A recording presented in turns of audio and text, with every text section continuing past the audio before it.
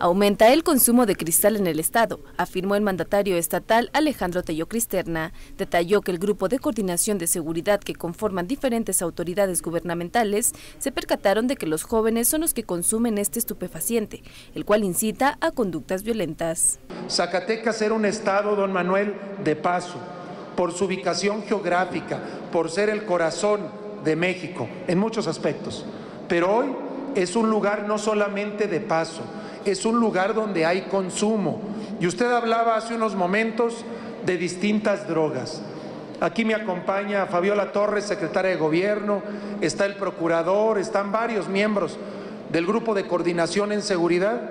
¿Y sabe qué estamos agarrando en las calles, en los bares, en los grupos de jóvenes como las aquí presentes? Estamos decomisando cristal, pero cuatro a uno en Zacatecas se está decomisando cristal. El titular de la Comisión Nacional contra las Adicciones, Manuel Mondragón y Calf, en su visita a la entidad, manifestó que las personas inician desde temprana edad a hacer uso de las drogas, y es que se estima que el 50% de los consumidores de marihuana son jóvenes entre 12 y 20 años, mientras que 7 de cada 10 farmacodependientes son menores de 18 años. Se fue para arriba la incidencia, pero lo que es muy grave, se fue para abajo la edad de inicio, y lo he dicho en muchos, en muchos foros. La doctora Medina Mora, directora del Instituto Nacional de Psiquiatría, uno de los 10 institutos que tenemos en México en el sector nuestro, nutrición, cardiología, etcétera, etcétera, está psiquiatría. Hizo el año pasado una encuesta en donde se demostró que niños y niñas empatados ya, ¿eh? La diferencia de hombre y mujer desapareció. La niña ya, la mujer se elevó en su cantidad empatando con los hombres. De quinto y sexto de primaria, 10 y 11 años de edad, estaban usando en buena cantidad alcohol para alcoholizarse. En el último mes, cinco copas, niños y niñas de 10 y 11 años de edad.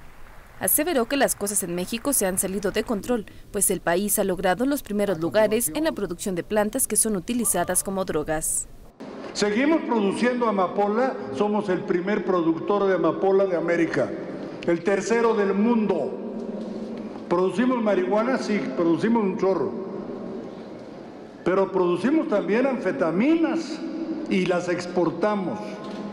Sigue habiendo tránsito de cocaína y ahora tenemos la piedra, que antes no existía, el crack, que produce adicciones brutales y tratamientos cuasi imposibles.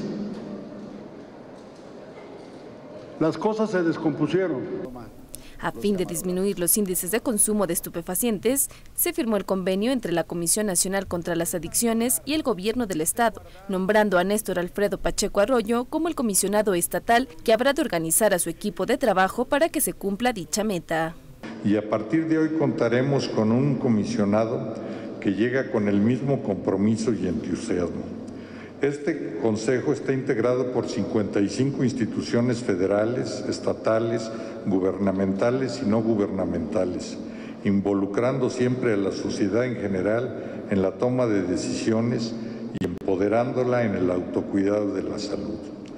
El Consejo se crea a partir de la necesidad de contar con una institución dentro de la administración pública que dirija sus acciones al combate del alcoholismo, tabaquismo, fármaco dependencia.